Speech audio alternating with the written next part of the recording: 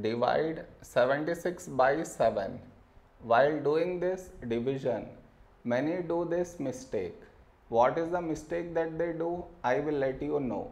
But before that, we should frame it in this way 76 and 7 here.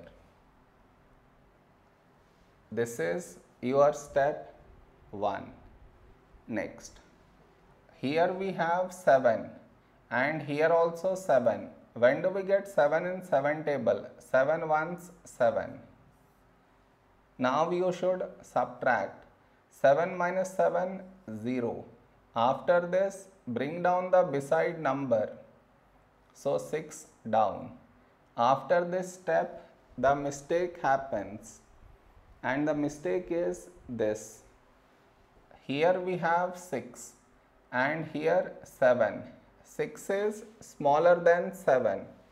So what many do is they directly put dot and take 0 which is wrong. Why is it wrong? Because just now you brought this number down and in the same step you want to put dot and take 0 which is wrong.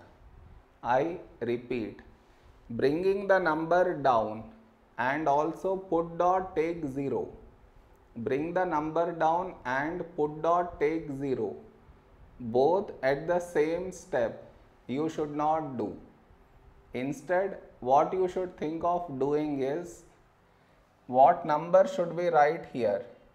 If I take 1, we will get 7, but 7 is larger than 6. So, what we should do is we should take 0. So, 7 into 0, 0.